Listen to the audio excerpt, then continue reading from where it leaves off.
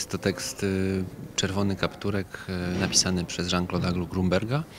Pomyślałem, że warto to przetłumaczyć, gdyż taki tekst nigdy na polskich scenach nie zaistniał, a jest to tekst na tyle istotny, gdyż mówi o alienacji, o wykluczeniu, o wszystkich tych rzeczach i aspektach, które jakby w Polsce już miały miejsce. Dobrze je wszyscy pamiętamy chcieliśmy je po raz kolejny przypomnieć, zapytać młodzież, zapytać dorosłych, zapytać nas samych, czy pamiętamy, czy pamiętamy o tym, co zdarzyło się w Polsce w 1939 roku.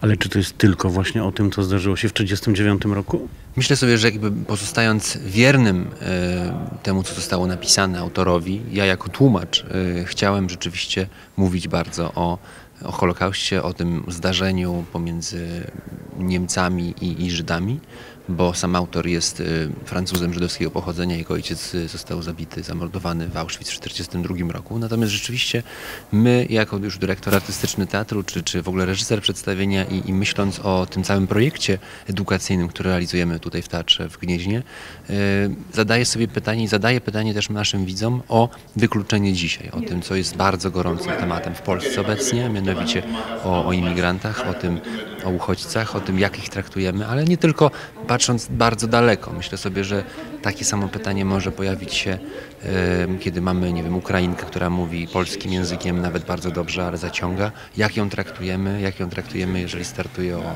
o pracę, o to samo stanowisko? Okazuje się nagle, że skończyła polski uniwersytet i tak naprawdę jest taka sama jak my, ale może chyba nie jest do końca. I e, o te pytania, o te o te pytania z tyłu głowy. Chcemy zapytać tym tekstem i, ta dzisiejsza dyskusja no, wiele nam pokazuje. No właśnie, co pokazała ta dyskusja dla Was? Dla tych, którzy pokazali ten tekst, chcieli nim mówić do ludzi?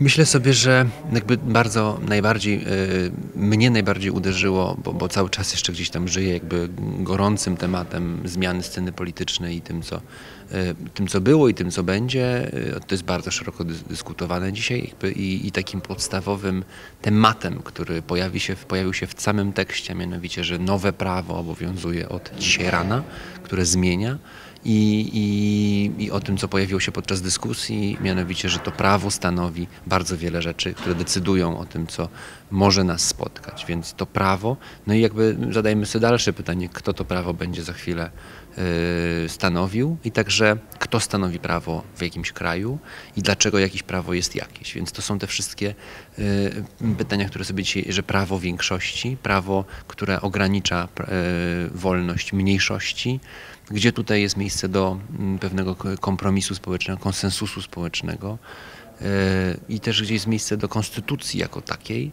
no bo jednak niewątpliwie ten tekst dzisiaj bardzo tak zabrzmiał narodowo, byśmy powiedzieli, tak? Jakby to wszystko, co też mówił nasz rezydent Joe Handel o tym, czym jest naród, jak Lech Wałęsa mówi, my naród, we the people, my ludzie, tak? Ludzie żyjący w Polsce. Czy w ogóle taka kategoria może istnieć? I e, to wszystko dzisiaj podczas tej rozmowy było dyskutowane.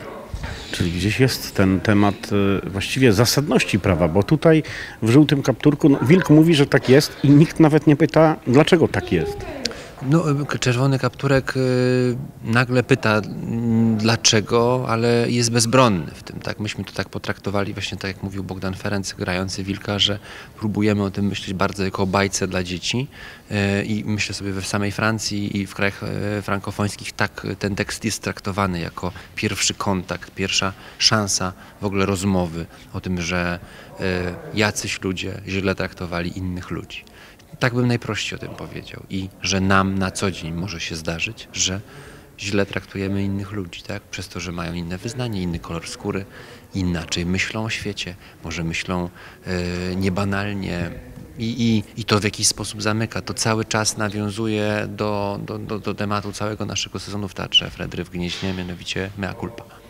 No właśnie, te czytania performatywne, to one są dla Was jako teatru, a dla nas pewnie jako widzów taką szansą czegoś, czego Wy nie moglibyście zrobić, gdyby miało być pełnowymiarowe. Moglibyśmy zrobić. Ja jestem zdania, że absolutnie mógłbym to zrobić. Chciałbym to zrobić, natomiast yy, no jakby yy, wiem, co się może wydarzyć. Tak? Jeżeli, jeżeli Francja, która jest krajem dużo bardziej już rozwiniętym na poziomie myślenia o pewnych rzeczach, tak? Czy, czy Szwajcaria, taki teatr w Genewie jest, który właśnie tego typu przedstawienia non-stop pokazuje. I jednak oni borykają się z problemem widzów, o tym, że ludzie nie chcą rozmawiać, wstydzą się.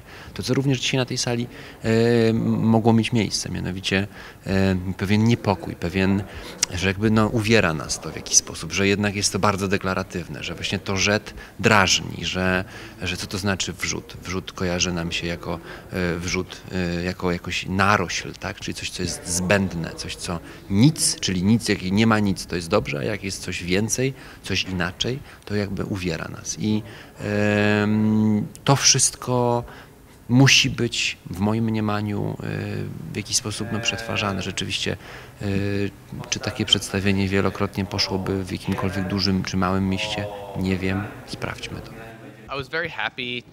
Byłem bardzo zadowolony, że mogłem spotkać się z dzieciakami podczas warsztatów, a energia, z jaką uczestniczyły w nich, sprawiała, że czułem się świetnie. Nie znałem tego tekstu, zanim przyjechałem do Polski. Uważam, że jest to dobry tekst. Myślę jednak, że był adresowany do osób mieszkających we Francji, a zwłaszcza osób, które żyły po II wojnie światowej. Natomiast z młodymi ludźmi rozszerzyliśmy trochę tematykę tego tekstu.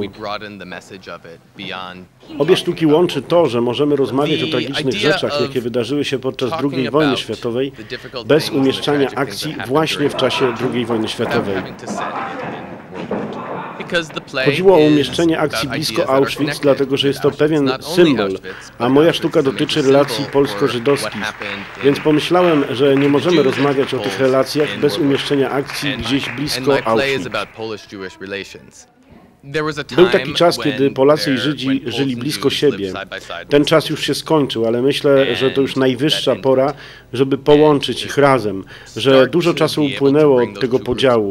Ja bardzo nie lubię negatywnych relacji, dlatego już czas, żeby pogodzić te grupy, te narody.